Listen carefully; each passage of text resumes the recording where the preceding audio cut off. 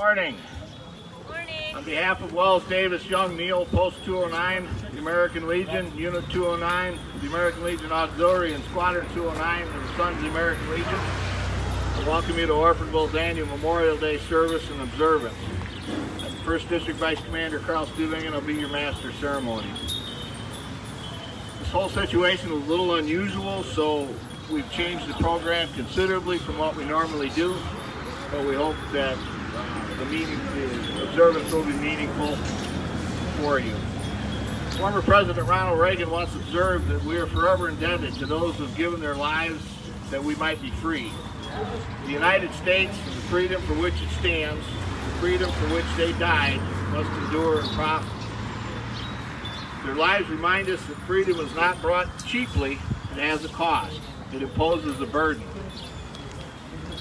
And just as they whom we commemorate were willing to sacrifice, so too must we, in a less final, less heroic way, be willing to give of ourselves. From Lexington and Concord, Kandahar and Ramadi, nearly 45 million Americans have answered our country's call to service, and over a million of the sons and daughters have paid that cost with their lives. To those who have worn the cloth of our nation, it is of utmost importance that the sacrifices made by our brothers and sisters be revered and remembered, that their stories be told. Our speaker this morning was to be Wisconsin American Legion Department Vice Commander Paul Bessler. But because of current restrictions, he was unable to join us this morning. And so I will bring a Memorial Day message to you. Every crisis has new heroes. During 9-11 attacks, they were the first responders running into burning and crumbling buildings as others ran out. Now, during the coronavirus pandemic, the most visible heroes are the healthcare professionals who are saving others, risking their own lives while doing so. These heroes have much in common with the people that we honor today, America's fallen veterans. They are men and women who have sacrificed their own lives so that others could live. They are both elite and ordinary. They're elite in the sense of character. Giving your lives so others could live is the ultimate definition of selfless. And they are ordinary in the fact that they represent the diverse fabric of our country. They are rich, poor, black, white, male, female. They come from every ethnicity and background. In short, they look like any one of us. As we celebrate this selfless and untiring performances of the healthcare workers during the COVID-19 pandemic, it brings to mind the military medics, doctors, and nurses who sacrificed their lives while treating others on the battlefield. One such hero was pharmacist mate third class Jack Williams. The Navy Reserve Corpsman was only 20 years old when he landed on Iwo Jima 75 years ago. On March 3, 1945, James Naughton, a Marine in Williams' unit, was wounded by a grenade. While under intense enemy fire, Williams dragged Naughton to a shallow depression and treated his wounds. Williams used his own body as a screen and was shot four times. Yet he continued. After he treated Naughton, Williams dressed his own wounds and proceeded to treat another Marine despite his own immense pain. While heading to the rear, he was hit by a sniper's bullet and killed. For his actions, Petty Officer Williams was awarded the Medal of Honor. We also remember Army veterans like Lieutenant Sharon Lane. According to her biographer, Phil Bigler, Lieutenant Lane threw herself into her work as a nurse. While serving in Colorado, she requested a transfer to Vietnam. There at least you're busy 12 hours a day, six or seven days a week, she said in a 1968 letter to her parents. Her dedication was obvious, even as she treated enemy Viet Cong soldiers who would return the favor by kicking, cursing, and spitting at their American captors. In the early morning of June 8, 1969, Tour, tour of duty. A Soviet-built rocket struck the hospital. Lieutenant Sharon A. Lane was killed in action at the age of 25. Now, if she were still here, her skills as a nurse might still be benefiting us during the current crisis. But not all of the heroes working during the COVID-19 pandemic are in the healthcare industry. Grocers, first responders, delivery workers, drive-through restaurant employees. Are just a few of the many people that we rely on to provide vital services for society while risking their own safety. The military also has heroes in every occupational field. Truck drivers, cooks, administrative clerks have all paid the ultimate price. At sea, on land, or in the air, military service requires great risk. Roy Knight Jr. was a pilot with the United States Air Force. On May 19, 1967, he was shot down while attacking a target on the Ho Chi Minh Trail in Laos. He was posthumously promoted to colonel. Last year, a joint team from the Defense POW MIA Accounting Agency discovered and later identified Colonel Knight's remains. When his remains arrived at Dallas's Love Field, a crowd gathered to witness the dignified transfer of the flag-draped casket from the Southwest, Southwest Airlines jet into the receptive arms of the Military Honor Guard. One observer reported that the entire crowd fell silent. The Southwest flight was piloted by another Air Force veteran, Colonel Knight's son, Brian. Brian Knight was only five years old when he said goodbye to his father as the elder Knight left for Vietnam. This is yet another legacy that those heroes leave behind. Legacy that includes their sons, daughters, grieving parents, grandparents, and friends. Their heroic acts are sometimes performed to protect those with whom they serve.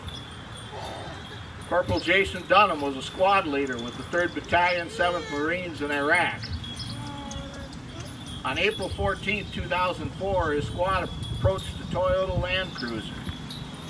After his squad discovered AK-47s in the vehicle, the enemy insurgent exited and engaged in hand-to-hand -hand fighting with the unit.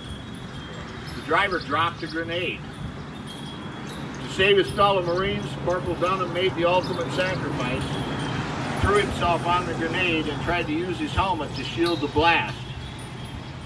Severely wounded by the grenade's fragments, Corporal Dunham was taken off life support eight days later. Corporal Dunham died so other Marines could live. He too was awarded the Medal of Honor for gallantry. Approximately 1 million men and women of the U.S. military have lost their lives in defense of our nation since the founding of this great republic. Not all have died from enemy fire. Some have died from disease that have too often festered around war zones. Oftentimes, death from disease and accidents outnumbers casualties caused by enemy weapons. During the Spanish-American War, 60 soldiers of the all-black 24th Infantry Regiment volunteered to serve as nurses. 36 of them would later die of yellow fever or malaria. A generation later, flu would kill nearly 16,000 U.S. soldiers in France during World War I. Another 30,000 American service members died in stateside camps. Now, these men and women could have isolated themselves in the safety of their homes, but they knew they had an important job to do, a mission to accomplish. They were all on a mission to serve. And let us also not forget the 22 veterans a day who take their own lives, often alone and desolate. The war came home with them, and they were not able to escape its demons. This Memorial Day, as we continue to honor those who fell in battle, let us also pause to remember those who have sacrificed their lives while serving others. May God bless them, and may God bless you for remembering them here today. Thank you.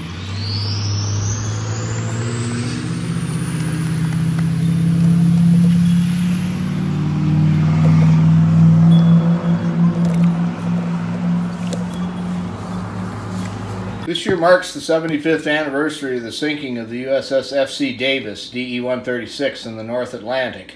in the closing days of the war in the European theater. 115 sailors went down with the ship.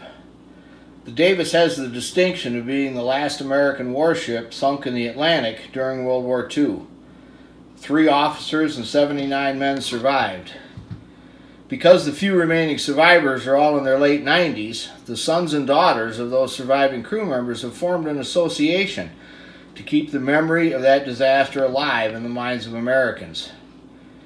In 1980, Post 209, at the behest of Davis survivor and Post member Bill Reamer, hosted a reunion of the crew members. We ended up hosting several reunions. When the Berlin Wall fell in 1991, Post 209 hosted a reunion that included survivors of the German U-boat 546, the craft that launched the torpedo that sunk the Davis. This would prove to be the last reunion as the members were becoming too old to travel. Members of this association contacted the Post several weeks ago and wanted to make a contribution to the Post to make this year's remembrance a little more meaningful.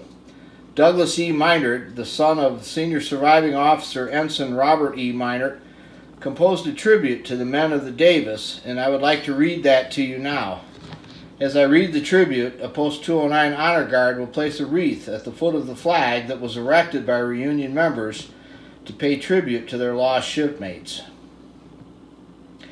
In the spring of any year, it is impossible not to feel hope. The hope of renewal and recovery, of the rebirth of life, the everlasting presence of an abiding spirit that makes us who we are as Americans, who we are as a people. In the spring of 1945, that hope and presence was stronger than perhaps at any time in history, for the world was about to emerge from a world war that had threatened the very essence of humanity. For almost five years, Americans had done what Americans have always done answered the call for every professional soldier, sailor, and airman, there were thousands of ordinary men and women who stepped up at a time when there was no one to spare, nobody else to do the job. On the home front, women and families sacrificed endlessly. Food, clothing, medical supplies, raw materials. Nothing was too much to ask for for the cause of freedom. In some cases, though, the ask was simply too much.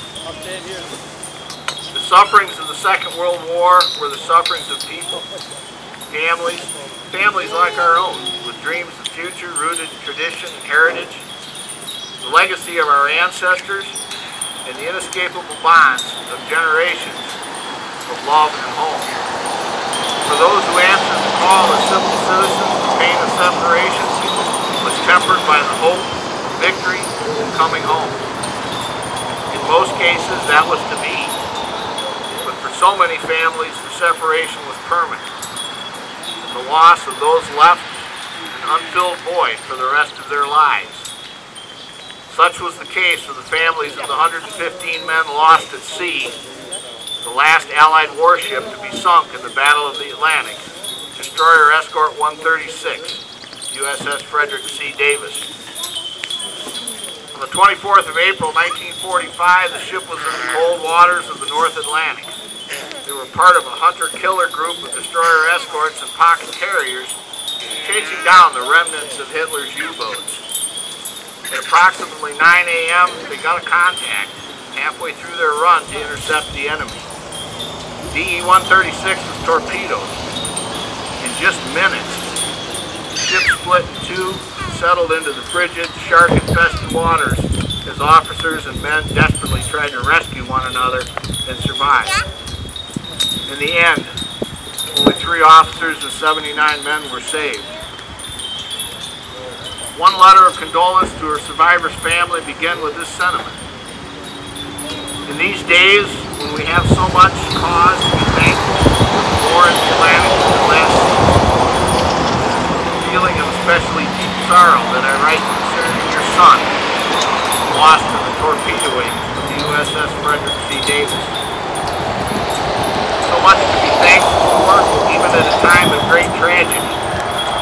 In our grief and respect for those lost, let us remember that the sacrifices gave each of us much to be thankful for today. Every day is a gift. In that spirit, I'd like to share the closing of that same letter. The scene is the burial at sea for officers and crew the day following the sinking. April 25th dawned a magnificent spring day. Bright blue water, clear sky, fresh wind, and a shining sun.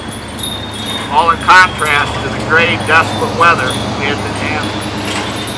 It was a beautiful, natural setting as one could hope to find. At 10 o'clock, your husband, folded in a new flag of the country so well served, was carried slowly to the rail by a guard of honor in full dress blues. The captain, every man and officer who could be spared from running the ship, every survivor who could make it, all were present to pay their last respects.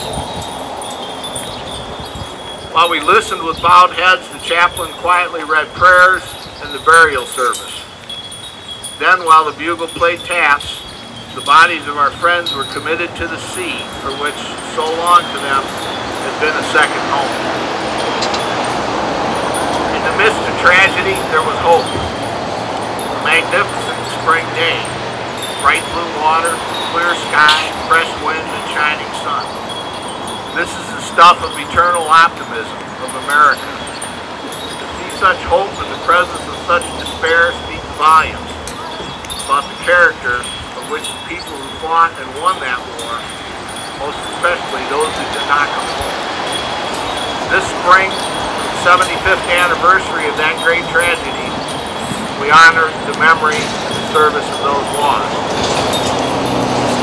Gallant men on a little ship in the cold waters of the North Atlantic, far, far from home. Let us honor their memory by treasuring today and every day they gave us through the sacrifices they made.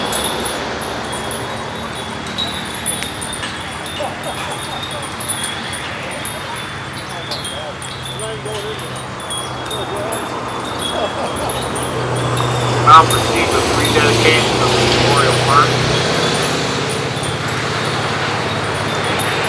In the name of Kenneth Smiley Wells, Frederick Curtis Davis, Glenn Harry Young, Benjamin Harold Neal, we rededicate this memorial park to the memory of those departed comrades who offered their lives that justice, freedom, and democracy might survive to be the victorious ideals of the peoples of the world. The lives of those who have made the supreme sacrifice are glorious before us. Their deeds are an inspiration. May their service to America inspire us to continue to fight for the ideals for which they gave all. We rededicate this memorial park to them and to all those who served their country through military service. And with it, we dedicate this post to the faithful service of our country and to the preservation of the memories of those who died that liberty might live.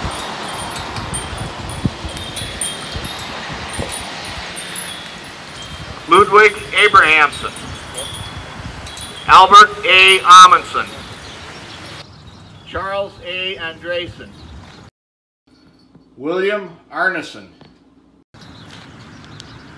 Marlon W. Barr, Robert H. Bartlett, Joseph M. Bastian, Ralph L. Bennett, Lawrence E. Bird, Julius O. Byrne, William F. Blau, Robert G. Brunswold, Donald G. Birchfield, Stanley L. Burtness, Vincent Burtness, William M. Cardwell, Earl G. Carver, Roland S. Champney, Dale Christofferson, Clayton H. Clare,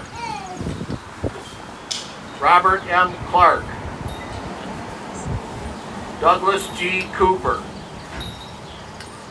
Virgil W. Cowan, Wilmer Cox, Herman C. Dahlman,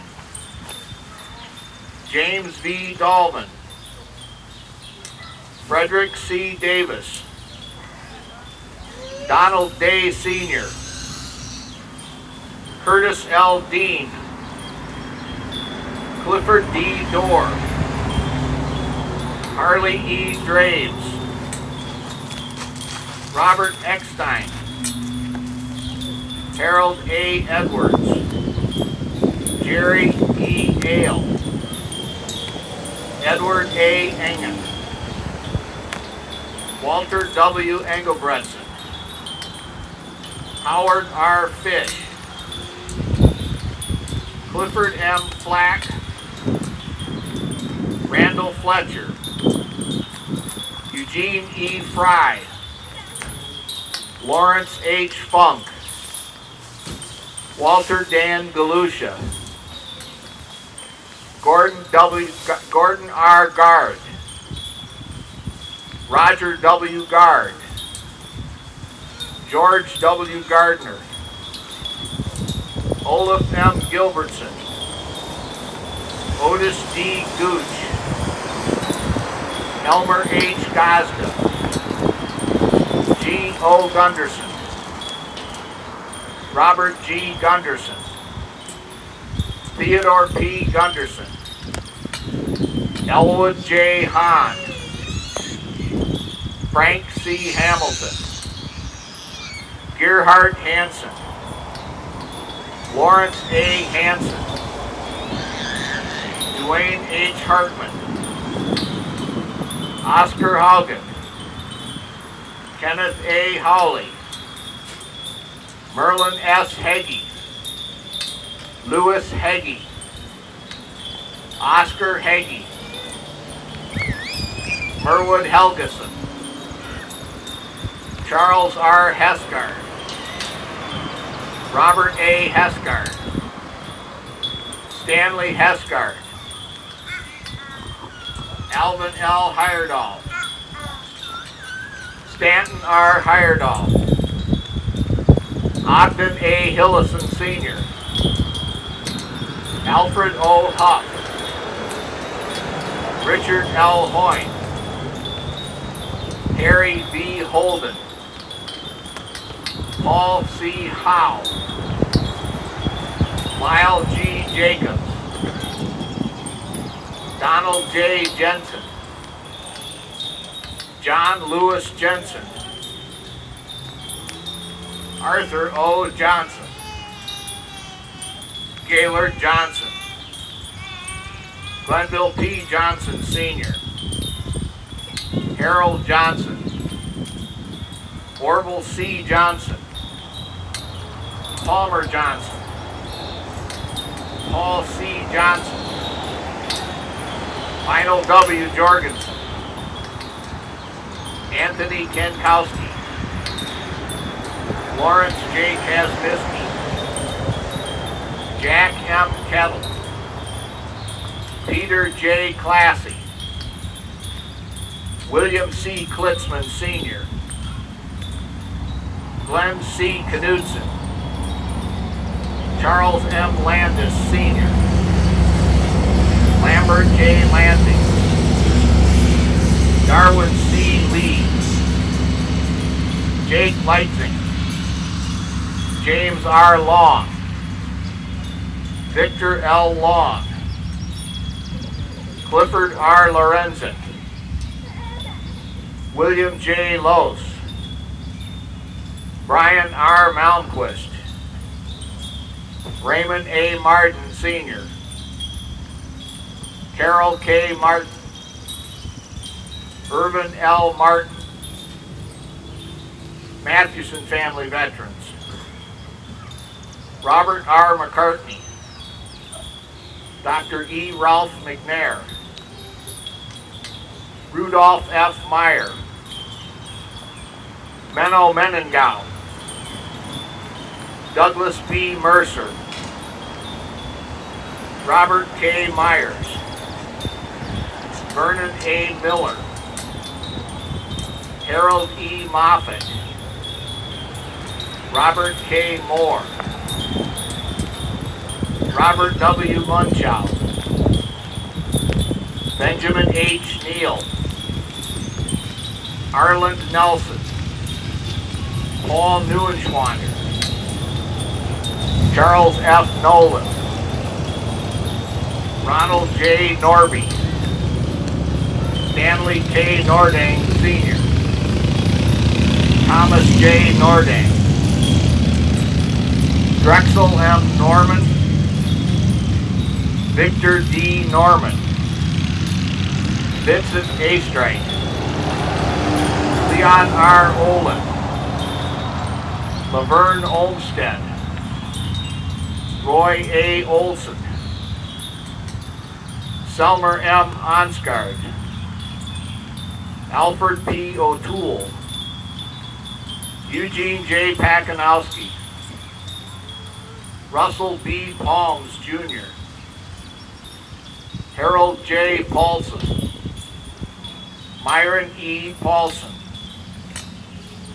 Elwin L. Petty, Russell M. Pino, Donald E. Plater, George C. Plater, Michael J. Pankowskis, Olaf Pressbrot, Dennis Raybuck, William B. Reamer Jr., Willard E. Reese, Charles F. Risch, David L. Runnis, Lester W. Runnis, Norval C. Sagan, Ralph S. Sagan, Maurice C. Satrain, David J. Shea, Christian W. Schmidt, Donald L. Schmidt, Charles T. Schroeder, Leland E. Schroeder, Kenneth R. Schultz, Gilbert C. Schuler, Elmer Scott, F. Leroy Scott, Ronald H. Scott, Dennis R. Shoemaker, Lowell A. Shumway, George R. Smith, Jr., Glenn E. Straw, Arthur D. Struck, Barbara P. Stuvingen, Bruce A. Stuvingen, Charles G. Stuvingen, Charles L. Stuvingen, Gilmer S. Stuvingen, Louis J. Smith, Albert C. Taylor, Upton C. Taylor Sr., Elliot L. Taves, David N. Thompson Sr., Newell J. Thompson, T. F. Tink Torsen,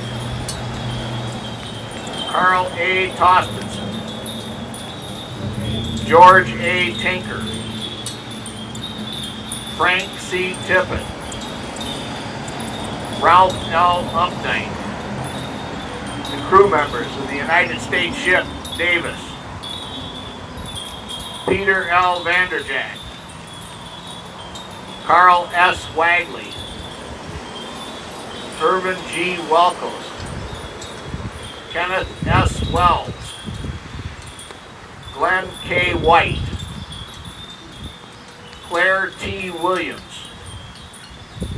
Henry W. Williams Sr., William Wood, Louis Randall Woodman, John Warden, Glenn H. Young, Norman A. Zweifel, Stephen R. Zimmerman. Their number is 191.